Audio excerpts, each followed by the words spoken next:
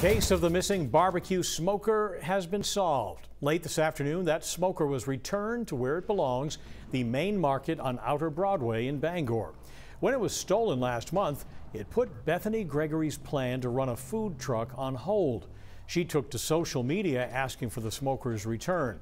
Today, a man walking in the woods near Brownville came upon that cooking equipment, and he thinks he knows how it got there if I had to guess, they probably saw how much media coverage it got and how big of a story it became, and they were like, "I'm not going to try to sell this or hold on to it because it's a well-known stolen smoker." So I'm thinking they just kind of dumped it out there, and I don't know what their plan was, but I'm glad it went back to its rightful owner.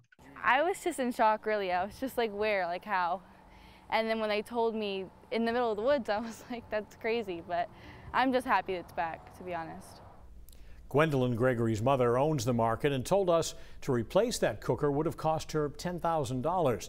The pair have been running the Scotch Bonnet food truck with a borrowed smoker for a few weeks.